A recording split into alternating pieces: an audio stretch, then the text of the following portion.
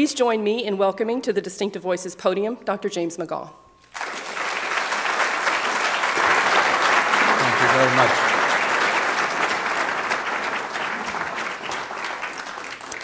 Thank you very much, and hello, everybody.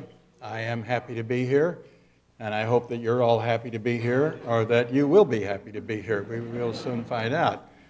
Now, what she didn't say is that um, I came here in 1964. How many of you were here in 1964?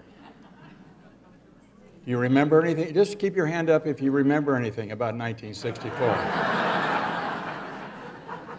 All right, keep that in mind. Keep that in mind. Uh, now, be honest. How many of you, uh, sometime during the day, had to be reminded about coming here tonight? Well, you're not honest, first of all. I, I, I have to try a little harder. How many of you drove here tonight? How many of you drove without the aid of a GPS? not as many, but we're getting there. Well, uh, memory is, is pretty important. Uh, the brain is the most complicated structure in the known universe. There is nothing that even comes close. And of all the things that the brain does, the most important is to make and preserve memories. And we know that because if you don't have them, you wouldn't be here tonight. Uh, you wouldn't be. You wouldn't be because you wouldn't know to eat. You wouldn't know to drink. You wouldn't know where to go or what to do. You wouldn't know how to make children. There would no, be no descendants, and there would be no ancestors because there are no descendants to make ancestors. All of that requires memory. Now, this, this has been noted by almost everybody.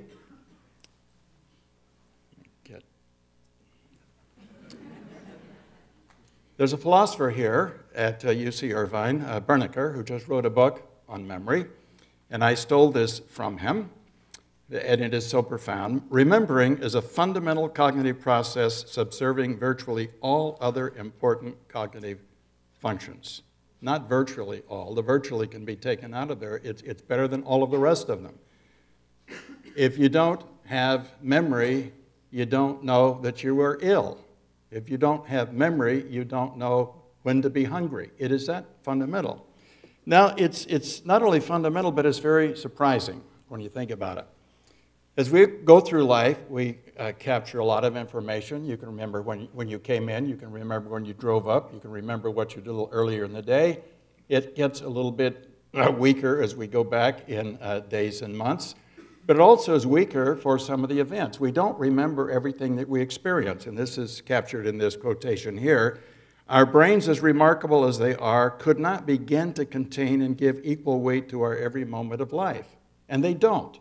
There's something about this enormous, brilliant capacity of our brains to store information, but it doesn't store all information. Some things we remember very well, and some things we don't remember very well at all. Even right now, um, I think most, if not all of you, are, are wearing shoes, and I can draw your attention to the pressure on your left foot that's created by a shoe. And you don't even note that, and you don't remember it. It's just part of the sensations that you have that don't get captured, don't get caught up for remembering. Now, William James worried a lot about this. William James was the most famous psychologist, physiologist ever. Published a book in 1890, which was the dominant book for decades and is still one of the best books ever written in the field. And he said, of some experiences, no memory survives the instance of their passage. We know that. Others may be recalled as long as life endures. How can we explain these differences? So, how can we explain these differences? Well, philosophers before scientists thought about this a lot, and we have a clue here uh, from Francis Bacon, who says memory is assisted by anything that makes an impression on a powerful passion, an emotion, inspiring fear, for example, or wonder, shame, or joy. So anything that is, that is exciting that creates an emotional response assists memory. This was noted a long time ago. I was very sorry to see that because I thought I invented it. And it turns out that uh, Francis Bacon thought about it before I did. And so did uh, Gary Larson, uh, who said, uh, I'll read it to you. It said, More facts of nature, all forest animals to this very day remember exactly where they were and what they were doing when they heard that Bambi's mother had been shot. So each one remembers where they were. I was getting right across the interstate. I was down by the edge of the lake and so on. They all have this memory. But so what? So what if emotion makes strong memory, as Francis Bacon said, and as Gary Larson captured in this cartoon? Here's the so what from Descartes, who said in 1650 the usefulness of all the passions or the emotions consists in their strengthening and prolonging in the soul, that is, in the mind, thoughts which are good for it to conserve. That's the function. It's not just that experiences are emotionally arousing are better remembered, but they have a function. They're better remembered because they serve a purpose. If you are excited about where you find food, you want to remember where to go and get it. If you are distressed by something that annoyed you, then you want to know how to avoid that. If you have a wonderful sexual experience, you figure that out by yourself. now, what, what happens? What happens when, uh, when uh, you get excited? And the excitement can be mild or it can be horrendous. The body takes care of this automatically. There is absolutely nothing that you can do to control it. If you get excited, even modestly excited, you're going to release epinephrine or adrenaline. That's the same thing with different words. Uh, you're going to release uh, epinephrine, and you're going to start the synthesis of cortisol, which will be released in increasing amounts, uh, peaking about a half hour later. And this will happen anyway. Uh, if somebody says to you for something that you did, you mowed the lawn and did a nice job, somebody says, nice job, cortisol and epinephrine will be released. If you mowed the lawn and you cut down all of the fav favorite plants, somebody will say that was a horrible thing, and you'll remember that as well. It doesn't make any difference. The adrenal glands do not care. They don't know. All they know is that when something happens that's exciting, good, bad, then they are going to be, these hormones are going to be released into the bloodstream, and there's nothing you can do about it. Uh, an example that, that uh, I like is uh, when I get interviewed by journalists, and uh, let's say it's over the telephone, which it usually is, and at some point they say, This isn't clear to me. And I say, Well, now I'll make it clear to you. I'm going to say something which is not true, but listen to it. It's not true, but I'm going to say it to make a point. And I say, Are you ready? And I say, Yes. I say, You know, I've been listening to you for half an hour. You're really pretty stupid. And I said, Are you feeling warm? Yes, I'm feeling warm. Well, that's the adrenaline, the epinephrine, which has been released into the bloodstream.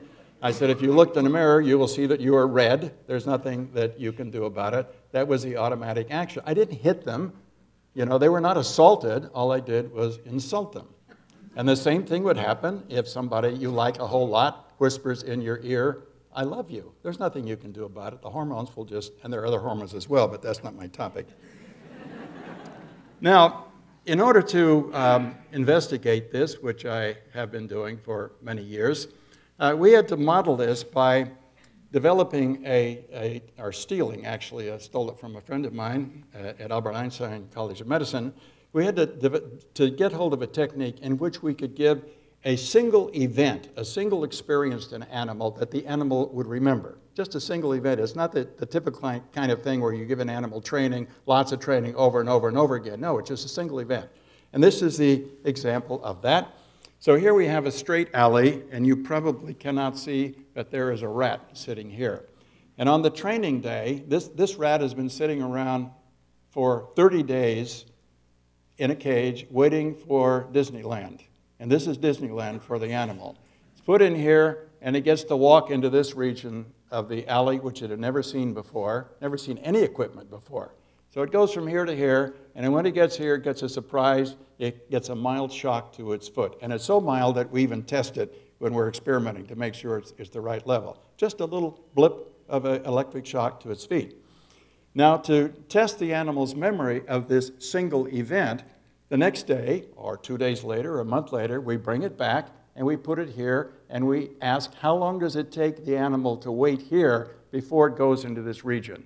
And the longer it is, we make an inference that that's stronger memory. So here is our memory experiment. Give the animal a little experience, test it later to see what it does. So here are some results of an early experiment, actually the first experiment of this kind ever done right here at Irvine with a graduate student, a postdoc of mine, Paul Gold. So here's the experiment. The animals were trained, and this is the test. The first day, the animals walked through in about 10 seconds. The second day, they stayed out for about a minute. Those are the controls. They got injected with a little bit of saline. Now, we have other animals here that are injected with epinephrine or adrenaline immediately after training at a time that this hormone would normally be released. And we injected an amount that would be in the blood of an animal that was given a very strong shock. We measured that, all right? So, what happens if the animals got adrenaline immediately after they were trained and then they're tested the next day? That's their memory. That's the enhancement of memory that is induced by a hormone that we have ourselves, and we're able to make a stronger memory if we administer that to the animal immediately after they're trained. Now, we knew from extensive work in our laboratory and other laboratories that, there, that the, the making of a lasting memory does not occur instantly, but it occurs over time. It's called consolidation of memory. What you are listening to right now is not stored instantly. There's a beginning of storage, and it takes place over several hours. So we said, what happens if, if we delay the administration of the epinephrine a little while. And if we delay it a little while, less memory is formed. Delay it more and less memory is formed. And delay it by two hours and the adrenaline has no effect. And the reason for that is that the storage of memory has taken place in that period of time. And so the adrenaline, epinephrine, can't act on anything. The memory's been stored at that time. This is consolidation. And what we have found is that the hormone that you and I carry and release to ourselves when we get excited will make strong memory, and we can manipulate this in laboratory animals to make it work.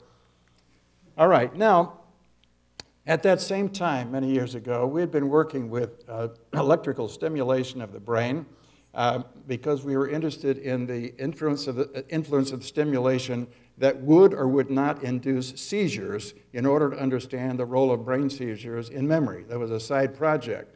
And in the course of that, we discovered that we could enhance memory with mild tickling of this region of the brain, the amygdala. It's in the medial temporal lobe. If we trained animals and tickled the amygdala with a little bit of electrical stimulation, we could get a stronger memory just as we could with the epinephrine. So we said maybe it's the case that the epinephrine acts in some way to stimulate the amygdala. That was a, a big leap that we took. Um, and, and we had to take that leap, be, uh, leap because uh, epinephrine does not pass the blood brain barrier, does not get in freely. And in site experiments, which I'm not showing you here, uh, we found that the epinephrine acts by uh, affecting receptors that are located on the vagus nerve that goes up into the brainstem, and then norepinephrine is released within the brain. So the action of epinephrine is not in the brain, it is to influence the release of norepinephrine within the brain. That was a side project that we worked on. So we decided let's take a look at the involvement then of this region of the brain in the medial temporal lobe. And here's the kind of experiment that we did we implant uh, a cannula, uh, uh, just a needle, that goes down into the brain of the rat, and so that we can squirt a little bit of substance here, actually, usually about a fifth of a microliter is what we usually use for the infusion. So now we're giving infusions into the brain rather than into the body, and we want, going to see what happens. So I'll give you an example of one of many such studies that we have done. This is a very simple task in which we have um, a, a big pool of water. It's about six feet in diameter. And in, somewhere in the middle of that pool is a plexiglass um, landing platform that the animal cannot see. And so the animal's put into this big tub of water and it swims around until it accidentally finds the platform. Just, just a plain old random thing that it does. We give the animals about six trials on this so the animal can learn somewhere in this big tub of water there is an invisible platform and they swim to it. So the next day we measure how long it takes the animal to find the platform. So here are saline controls, animals that got injected with saline immediately after they were trained on the first day. And you can see that it took them about half a minute to find the platform on the second day. If they're never trained, they're way up here. They just wander around. So this is learning. These animals have learned. These animals I'm going to show you got a dose of norepinephrine in the brain, in the amygdala, immediately after they were trained. And they found it the next day in about 10 seconds. So that in, is enhanced memory of a very different kind of learning experience. Uh, there's a higher dose is less effective. And this is critical because I'm going to come back to this many times. If we put into the amygdala propranolol, which is a beta blocker, that is a drug that acts to block the action of epinephrine and norepinephrine, then those animals do not remember at all. So we can make very good memory or we can make very bad memory by injecting these substances directly into this region of the brain. Now, we've examined uh, a lot of um, experimental procedures because we want to make sure that we are, what we're talking about is general about memory and is not about some specific task. So here we had a water maze task. I didn't show you. We did fear conditioning task. Uh, this is one of my favorite because I found it so unbelievable. I always like the things that are unbelievable. Um, I worked for decades giving animals lots of training and using lots of electric shock to their feet giving them tons of water when they are heavily deprived of water, lots of food when they're deprived of food. I never thought of something that was thought of about 15 years ago by researchers in, in the UK. They said, why don't we just ask animals if they remember having seen something? That's all, simple experiment. And that's what they did, and that's what we do now. So an animal is put in a, in a, uh, a box here, and there are two identical objects, two light bulbs. And we let them explore those light bulbs for about five minutes. That's the experiment. Just look at the light bulbs. No food, no water, no shock or anything. And then a day or two later, we put them back in the box, and now there's a different object. And we ask, which do they spend more time exploring? And it turns out that rats will explore this one more, even though they, they, have, they have never seen it before. They've seen this one before. And the inference is that there's only one reason why they're exploring that, and that is they remember having seen the other one and they're bored with it. That's the only thing. So this is a memory task. And I'm still astonished that it works because you just let an animal look at something and later on say, oh, yeah, I've seen that. I don't care about that anymore. I'm interested in this other thing I've never seen over here. So we took advantage of that. And we trained animals on this task. Immediately after they looked at these two objects, we squirted a little bit of norepinephrine in the amygdala. And here's what we got. The training was so low that in control animals, we couldn't e even see any evidence of memory. Just gave them a little bit of exposure. But if we followed that with a little bit of norepinephrine put directly in the amygdala, we got enhanced learning. And if we put propranolol in, that is the blocker of epinephrine and norepinephrine, we got impairment of memory. This is no memory, and this, and this is good memory. So just as we saw in the water maze, if we use this task that doesn't use any fear, any uh, uh, very complex training of any kind, just ask an animal, have you ever seen this before? We can enhance the memory of that experience. Now, in, in these and many other experiments, we have been the manipulator of the uh, neuromodulator. We have put it in. We have put in a beta blocker, or we have put in a, a norepinephrine itself. So we ask the question what are the animals doing to themselves without our artificial help? So to do this, we put down a probe uh, into the brain and would pump a little bit of the solution in very slowly, take the solution out, and then analyze the solution for the content of norepinephrine. It's called high pressure, high, high pressure uh, liquid chromatography, and you'll see the, the experiment. So here's HPLC, here's the probe that goes down to the brain. If you're close, you can see that this animal has a tube, two tubes coming out of it so that we can analyze the, the, the fluid that is coming out of this specific region of the brain. So here's the experiment. We take the animal, we train the animal, and we measure the amount of norepinephrine that is released in the animal's brain at the time of the training. Then we test the animal at a later time. So there's no pharmacology here. We're not administering anything, we're just observing what happens. So here's the experiment. Here's the rat. Maybe you can see more clearly that there are two tubes, one with solution going in, the other one coming out for analysis. So the animal was sitting in there, and at this point, these are 15 minute intervals. At this point, uh, the animal walked through and got a shock, a little shock to its feet. And what you see plotted is the increase in the release of norepinephrine with this animal up around the 750 or 800% increase induced by the mild foot shock. So the animal's sitting here, whammo, up goes the norepinephrine release in the amygdala. Here's an animal that also a lot of release. Here's an animal that didn't release any at all. So we have a lot of variability. Now, there are two ways, at least, to look at this. One is to say, uh, Jim, uh, that is a mess.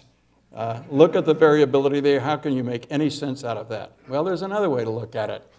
These individual animals were each tested for their memory two days later. And follow me here. This animal released about 800% increase in norepinephrine at the time it was trained, and that animal never went back in the area where it was shocked. Stayed outside for 10 minutes, which is long as we test them because the graduate students and postdocs get very bored at that time watching a rat doing nothing. So this is a rat doing nothing that remembers well, and that's an animal that released a lot of norepinephrine. Here's another one that released about, I don't know, 450% increase. That animal never went back. Come down here's an animal that went through in 10 seconds. That animal released hardly any norepinephrine. And what you see then is a very strong relationship between the amount of norepinephrine released in this region of the brain, induced by the training, and the memory tested two days later. And in all of the work I have done over my life, this is the, this is the strongest predictor of an animal's memory. The, stronger predict, the strongest predictor that I have ever found is how much norepinephrine is released in that region of the brain of the animal. Now, I'd like to say just a, a couple of things about the, the closest we can get uh, to these experiments with human memory. We can't do exactly the same experiments. Uh, undergraduate students here at UCI do not like to walk barefoot in a straight alley that's metal to get a foot shock. We can't do that. We have had very few people who would volunteer to have cannulas put in their heads. Um, actually, I, I, did have some. It, was, uh, I was uh, uh, lecturing to a group uh, a couple of years ago, and in it, it had some people uh, who had been in the military, let us say the SEALs, like that. And when I said I have trouble finding people who volunteer to have cannulas put in their head, a couple of hands went up. we didn't follow up on that. So I'm, I'm going to show you, I'm going to show you what we, what we did do uh, to try to do this. Um, uh, first, some, I'll just tell you of an experiment without showing you the data.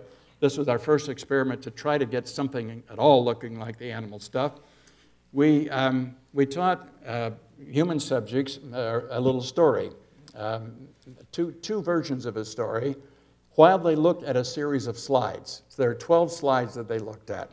Accompanying the slides was one story that said a boy and a mother left home, crossed the street, went to visit, visit father who worked at the, the hospital. Oh, he saw a car, went to visit father. Uh, it was disaster preparedness day, so they had people with makeup on, looked like they'd been injured. Mother'd make a telephone call and went home. And they saw a picture depicting each of those. Another group saw the same pictures, but the story was boy and mother left home, they crossed the street, a car hit the boy, he was seriously injured, was rushed to the hospital. The surgeon worked frantically to save his life, and a, and a distraught mother made a telephone call and went home. They all saw exactly the same thing. They rated the emotionality uh, of the um, uh, picture, of the narrative, and they went home and that was it. Well, they got a surprise memory test several weeks later, and believe it or not, uh, those people who heard the emotional story remembered the center part of it much better than the people who heard the boring one. So that was the influence of emotional arousal on memory as depicted in this narrative. We followed that up then by giving, in another experiment, by giving half of the subjects propranolol, that is the beta blocker, before they heard the story. And the effect of that was to turn it into a boring story because they didn't remember it any better than the boring story if they had propranolol on board. So that was our first uh, study. Subsequently, Larry Cahill did an experiment very much like the rat studies in which he uh, taught human subjects the material and then injected them with adrenaline, epinephrine, immediately afterwards and found that they remembered better. The one I liked the best, however, was uh, based on our discovery, uh, uh we were late in making this discovery, that if, if you put your hand in a bucket of water, you release a lot of epinephrine. And, and cardiologists know about this and they've used that for decades. So we said, fine, let's do that. So we had human subjects who were taught some material, and then we asked them to insert their hand into ice water and hold it there for a period of time. And then we tested them for memory later, and at least Cahill did, Dr. Cahill, and found that their memory was better and compared to sticking their hand into warm water. Now, we had both men and women in the study. Uh, guess which group held their hand in the water longer? Women. Uh, there's no controversy over that, is it? You just said, you said women. Bunch of wimps. Here is a more, here's a more recent study from the uh, Cahill Laboratory, a very simple study in which they showed human subjects uh, a series of emotional pictures. And then immediately after they viewed the pictures, they had them give a saliva sample, and they measured in the saliva alpha amylase, which is a, an indirect measure of norepinephrine. And what they found is the, um, uh, the greater the increase or greater the amount of, uh, uh of the alpha amylase in the saliva, the better the memory when the, when the subjects were given a surprise memory test a week later. So this fits with that. And here's another one that we did. This is an early study that we did right here, in which we showed uh, human subjects a series of uh, two-minute emotional, emotionally arousing film clips. But before that, we injected, we injected them with radio-labeled glucose because we were going to do a PET scan 30 minutes later after they were injected.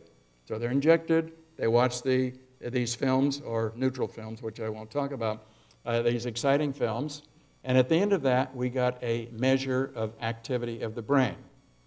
They went home thinking that the experiment was over, and then they got a surprise memory test several weeks later, and these are the re result. This is the activity of the amygdala as assessed by positron emission tomography 30 minutes after they were injected, and, but immediately after they watched these awful films.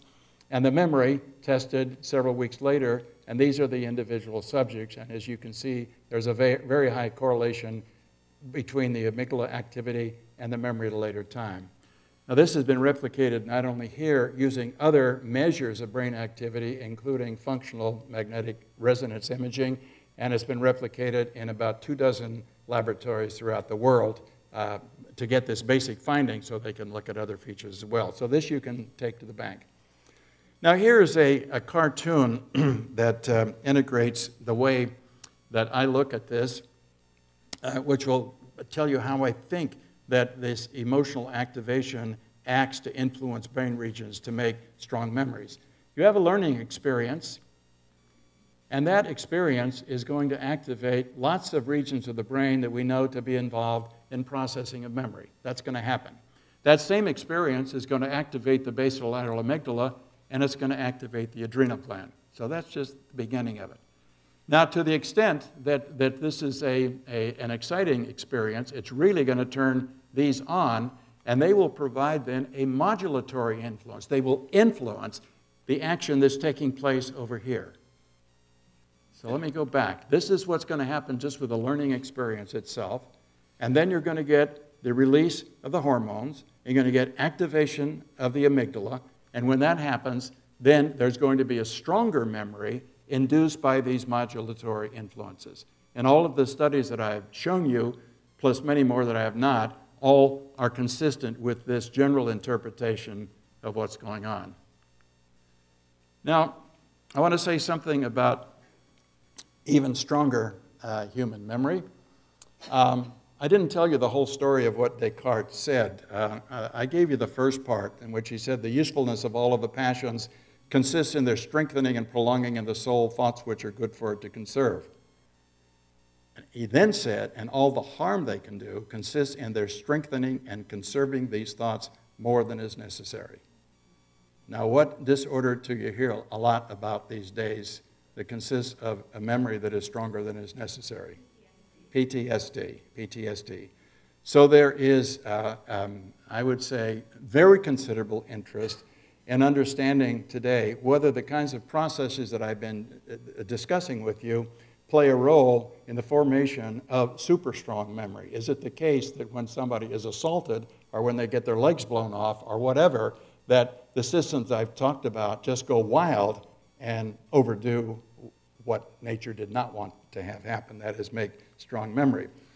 And one of the, one of the efforts then involves the use of drugs that interfere with epinephrine and norepinephrine. Two studies were published a few years ago showing that um, if human subjects were given propranolol, that is the, the drug that blocks the action of epinephrine and norepinephrine, within a few hours after they were assaulted, then the subjects would have fewer signs of PTSD several months later. This was done by Roger Pitman at Harvard.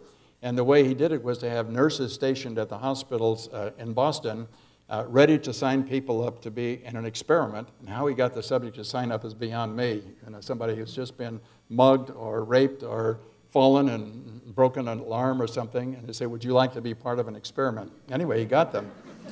Put half of them on propranolol immediately and half of them on, on placebo, and then tested them two months later and got very good uh, signs of, um, of attenuation of PTSD by this treatment. This was replicated by another study in France got exactly the same results. Another study um, was a study that was reported recently uh, by a military group in which they looked at uh, about 700 soldiers who were wounded in Iraq, and they, they were trying to find out uh, the differences between those that had PTSD and those that did not. So they looked at everything that was done with them, just put them in a big matrix, and they found the only thing that lessened the incidence of PTSD was morphine given within an hour. And I saw that and I thought, this is terrific. I have to write them to tell them about the work we've done. And then I did what every person is supposed to do before you react. You're supposed to read the paper first. And uh, so I read the paper carefully and found that the work here at Irvine had been cited. It turns out that, that opiates, morphine is an opiate, inhibit the release of norepinephrine. So it could be that the reason that the morphine was effective in decreasing the incidence of PTSD is because it's acting on the mechanisms that I've just described to you. And indeed, that was one of the interpretations that they offered. I mean, the other obvious interpretation is that the morphine just decreased the pain, and so it was less traumatic, or maybe both worked. But in any case, those are very promising, promising leads. Now, in the course of all of this, um, as you can see, I, I, have worked literally for many decades on brain, mechanism, brain mechanisms underlying the making of very strong memory. And in the course of this, a little over, no, quite, not quite 13 years ago, I got an email from a woman who said uh, uh, she had a memory problem and she would like to discuss it with me. Well, I told her this was uh, not a memory clinic, but a research institute, and I, I, would recommend a clinic if that's what she wanted. And she said, Oh, no, no, no. I, I, think that you might want to meet me because I have a very strong memory. And I thought, well, okay, um, you know, what's the loss? I'll talk to this person and see whether her memory is strong, whether we can do something with it. Now, I guess you can't read this, but I'm going to tell you what it is. This is the kind of thing that I did and my colleagues did with me to test her uh, to find out whether indeed she did have a strong memory. So if you look at the top, I asked her to name the day of the week and the significant event on the date. Just gave her uh, the, um, the date, uh, the day of the week and significant event on the date. So we have August 16th, 1977. And uh, she had to tell me what happened. Of course, you all know that that's the day when Elvis Presley died. Uh, if, I don't want to bore you, you probably know these. Uh, June 6, 1978, uh, Proposition 13 passed in California. Um, May 25th, 1979, there was a plane crash in Chicago and lots of people were killed, and on like that. I'm giving you her responses to these questions. Uh, or the other way around, um, uh, when was the uh, San Diego crash? Well, September 25th, 1978, and so on. It could be the other way. An event, she had to tell me the day and the date I want it to occur, or I would give her the date, and she would have to tell me the day of the week and the event that occurred. And she was almost errorless in being able to do that. Um, then on one occasion, we simply asked her to tell us the dates of the last 22 Easters. How many of you are unable to do that? How many of you can tell me the date of the last Easter? Well, what you see here is not only that here they gave all of the dates here, but she also told us what she did on those days. And she's Jewish. The first person ever identified with this ability is Jill Price, who says she feels haunted by the never-ending stream of memories and hasn't wanted to meet any of the Um, This is Jill Price, and she is a public figure. Uh, I can talk about her because she's written a book, and nothing is held back. Held back. Um, She ha- indeed has this extraordinary ability, and we appeared together on NPR, and she was on Good Morning America, and so on. Uh, As a consequence of that, uh, a number of people contacted us to tell us that they too had this ability. And uh, then in uh, December 19th, 2010, uh, there appeared a 60 minute program that showed these subjects, and, and it was on a Sunday. That's pretty good, right? I can do it too. The fact that 60 Minutes is always on a Sunday is a little helpful. So, this is Jill Price who got us started, and I'm going to show you uh, how many of you people think, think you saw that 60 minute episode? Oh, great. Are you sure? Okay. All right. I'm going to show you just a few clips to remind you of what was said, just a few, and then for those of you who did not see them, to introduce you to the people, and I'll make a few comments about them. So here are five new subjects, and you're going to hear Lesley Stahl ask uh, a question about uh, an earthquake. And I want you to see the way in which they respond, and I tell you in advance, it is absolutely typical of the way they respond. A 7.1 earthquake hits the San Francisco Oakland area on October 17th, 1989. Tuesday. I remember we were watching the game of the World Series. It was like, Right. oh my gosh. Are you guys That was feeling a little competitive with each other? Now, uh, when, when I said there was an earthquake in San Francisco, nobody said, uh-uh, let me think about it. I'll get back to you on that. Nobody looked at the ceiling. They just, blah, just erupted when it was. And there was a baseball going, a game going on at the same time. It's just, you know, it's just right out there. So that's the group that we had at that time. Uh, now I'm going to show you a little bit more detail, uh, picking on one subject here. Uh, Louise Owen, who is a professional violinist in New York, of very high quality. Uh, and she's interesting not only because of her extraordinary memory, but because her personality characteristics are almost the reverse of our first subject. Our first, first subject came to us because she is annoyed, angry, depressed, because she had all of these bad memories and they keep coming back. And Louise Owen uh, lives throughout the day to play violin and make truffles and arrange flowers. Uh, she's sort of a Mary Poppins uh, uh, kind of a person and does very well, as you will see. McGaugh says this type of memory is completely new to science, so he and his colleagues have had to devise their own tests, like this one on public events. October 19th, 1987. It was a Monday. Uh, that was the day of the big stock market crash, and the cellist Jacqueline Dupre died that day. The Berlin Wall falls on what day? Uh, November 9th, 1989, which was a Thursday. Christopher Reeve's accident occurred on what day? Uh, it was Saturday, May 27th, uh, 1995. And when were the Oscars held in 1999? In 1999, Sunday, March 21st. Yes, perfect. Am I boring you? Um, in in uh, developing questions, we have to cover a range of topics. Uh, we want to make sure that they that we ask them about lots of different things, not just about their pet interests. And as you can see, she knows a lot and she remembers a lot. Um, now she's going to tell us a little bit about what goes on when she's doing the remembering. She can remember every day of her life since the age of 11. Try to talk us through, can you do that? How, how it works, um, out of the air. April 21st, 1991. 1991, okay, April 21st. So, in the moment between April 21st and 1991, I have scrolled through 25 April 21sts thinking, which one is it going to be? Which one is it going to be? Okay, 1991, which was a Sunday. And I was in Los Angeles and I had a concert with the American Youth Symphony. Now I'm going to do uh, some testing, and I want to prime you for this because uh, some, at least one critic uh, of this kind of research says, well, all these people do is sit around rehearsing. The, re- the reason their memories is, are strong because they go over and over and over and over in their mind so that they won't forget. They continuously just recycle it. So we decided to ask about something which we think it would be highly unlikely that anybody would go about rehearsing, just to see how she would do. Uh, to uh, 1990. It rained on several days in January and February. Can you name the dates on which it rained? Believe it or not, she could. Let's see.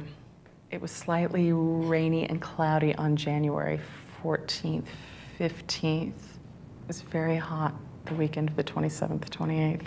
No rain. We checked the official weather records, It rained very hard on Sunday, February 4th. and she was right. That was 20 years ago. And so the hypothesis would be in the intervening 20 years, every day she rehearses, I have to remember what days it rained. in." now, um, we also have uh, special interests in each of our subjects, and um, I'm just going to show you one subject whose special interest uh, is sports. He happens to be a TV producer. He's produced a lot of program on Discovery Channel and, and other channels of that kind. Um, but he loves sports, so we'll see what he says. Numbers every game. When was the last time the Redskins beat the Steelers? Hmm.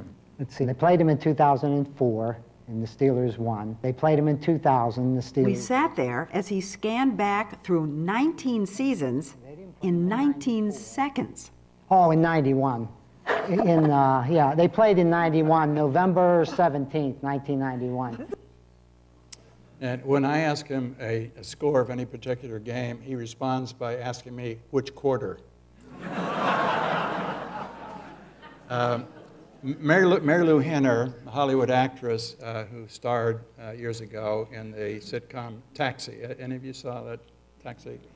Um, you sure? Okay. Um, she is one of our subjects. She has this uh, ability, and I'll just show you one little clip about her. Oops. We've lost the sound. Benson Marilu's life to try and stump her. October 26th, 1976. Okay, October 26th, 1976. 1976 was a Tuesday. Oh, I went to uh, I went to shoot a ring around the collar commercial in Venice, Italy, and you saw a second and a half mood shot of Venice, and then a gondolier singing "Of love I sing, tra la la la, for you got ring around the collar la," and I went, my powder didn't work. Of love I sing, la la la la. More than 30 years later, Sing around the ka-la-la. powder didn't work. dead on. Um, the week a- after that um, appeared on Sunday, December 19th, um,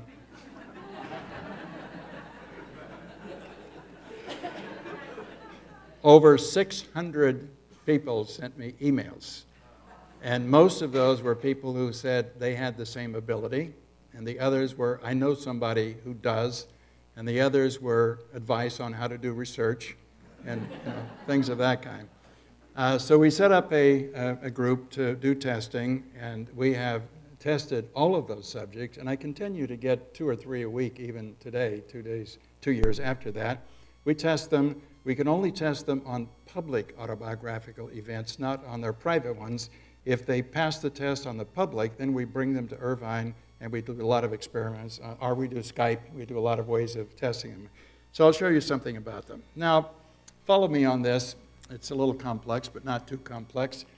This is the percent correct on a test that we give on public events uh, that occurred over uh, several decades. And this would be zero correct, and this goes all the way up to 75% correct. In orange are normal controls that are age and sex matched to our experimental subjects. And so what you see here is that uh, on the average, they're, they're getting between 10 and 15% correct on these kind of tests about what happened when. All right? Those are the orange ones. Now, the blue are the people who called in to say that they have this ability just like the people they saw on 60 Minutes. And I direct your attention to these people right here. There's more of them, that's why they're higher, but this is a normal distribution of people who think they have the ability but do not. And then I draw your attention to this group over here who think they have the ability and they definitely don't have any ability.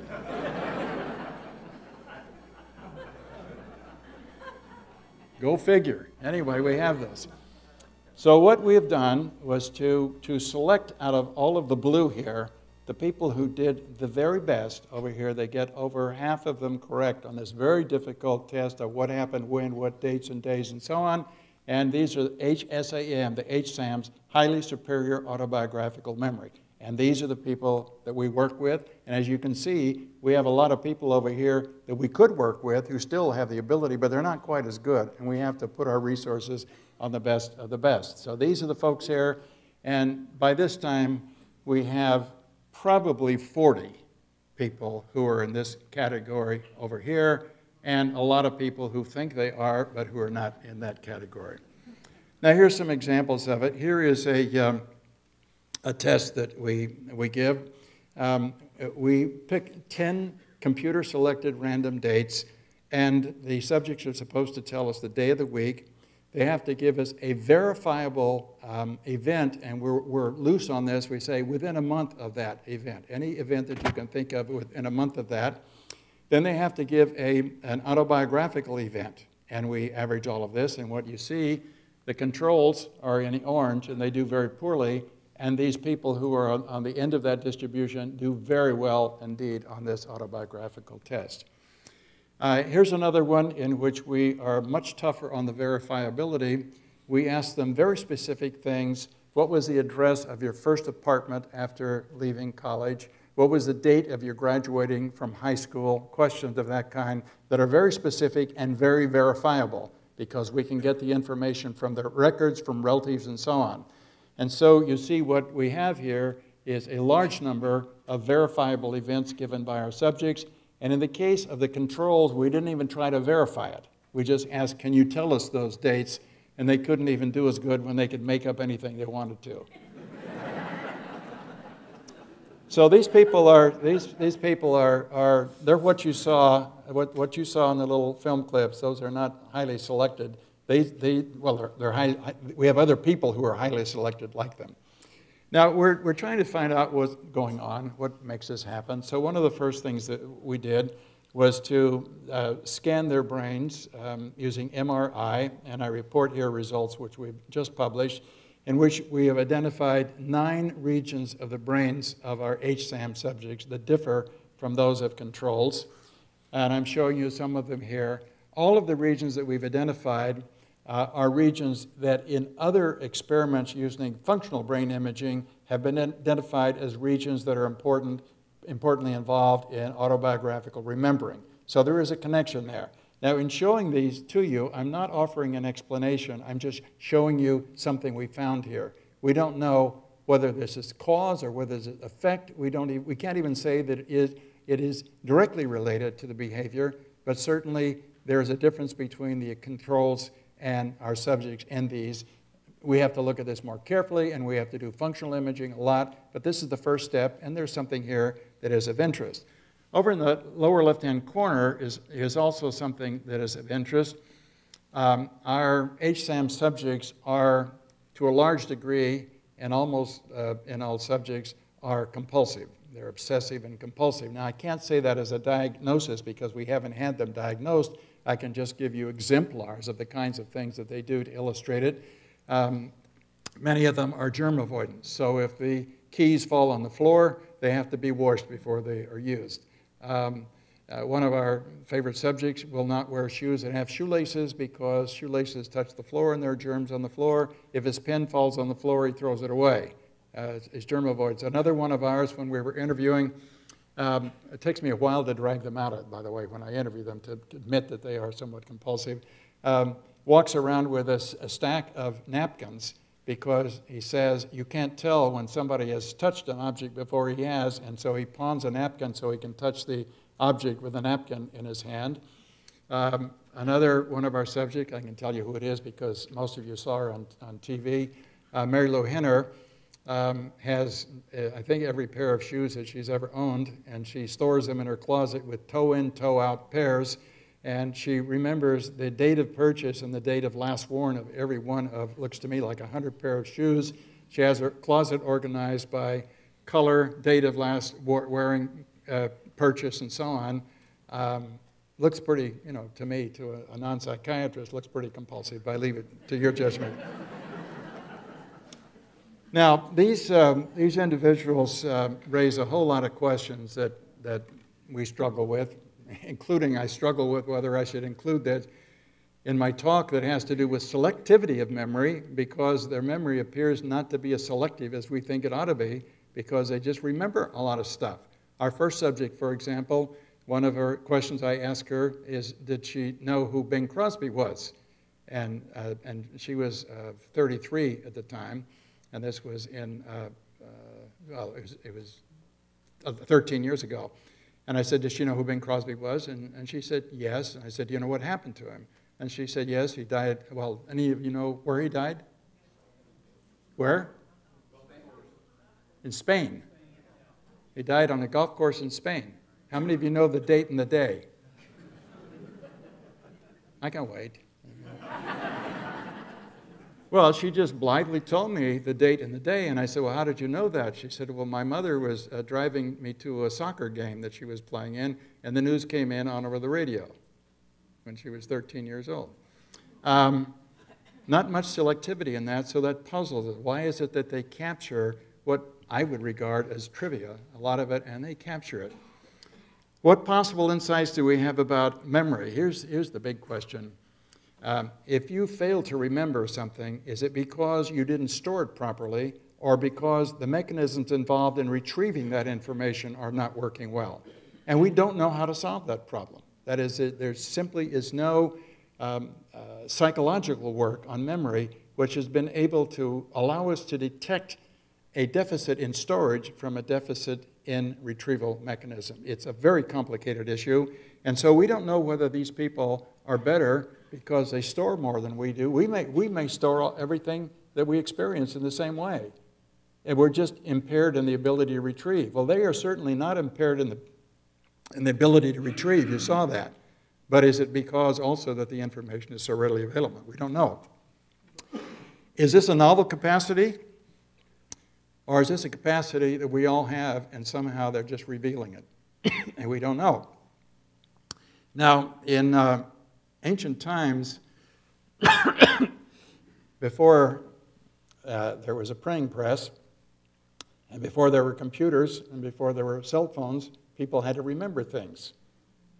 When the printing press came along, you could write it down and you didn't have to remember it because it was written down, you could check it later. And a lot of what we do right now, we don't write down, or we just it's in the cell phone or it's in the computer, and that's that's our memory. So one of the questions is, in centuries past, was there much more pressure to remember than there is right now? And maybe we decline in this ability because there hasn't been pressure on us in the centuries since, at least since the printing press. That's probably wrong, but it's something, uh, uh, something to think about. In the ancient times, it is said that when it was important to recall, uh, uh, to, to, store a public event, such as a marriage between two tribes or an agreement about a land a swap or something of that kind, they would have a young child witness the ceremony and then they would throw the child into a river afterwards so that the child would have a stronger memory of that. Now, if there were people around who had the memory of these kinds of folks, they would not have to use the child. Uh, now, is this innate or is it acquired? Uh, some people have made the argument that this is acquired because people just develop the skill of remembering and they work on it. Well, I, I gave this uh, a lecture like this uh, at UCLA uh, last Friday afternoon, and the next day, I was talking with a young professor at UCLA, and he was so excited he could hardly talk. He says, My child is just like that, as a five year old child. This five year old child, they will be driving along on a road, and his child will say, Oh, the last time we drove on, on this uh, road was on September 27th. It was a Tuesday. We were on our way to visit so and so. And so they don't test him. He claims they do not test him, but the child just spontaneously gives the date and the day on which events occurred over the last two years and just loves doing it. Um, now, this is important because it says that this is an ability, if this is all true, uh, an ability that emerges very early on, and it's not something that is based on extensive practice throughout life. Now, to back up a little bit, uh, we had already started a project uh, looking at memory in such children. There's even, you can see it on YouTube, there's, I think it's called Memory Boy on, on YouTube, a young boy about five years old who looks for all the world like he has this kind of ability. So we are in the process of identifying children like this throughout the United States, and we will be investigating them as much as we can in the same way uh, that we've investigated the adults. Um, this will be important because most of them have told us that they recognized that they had this ability when they were about 11 years old. That does not mean that it emerged at that time. It means that that's when they realized that they were different from other people in having this ability. So we want to find that out.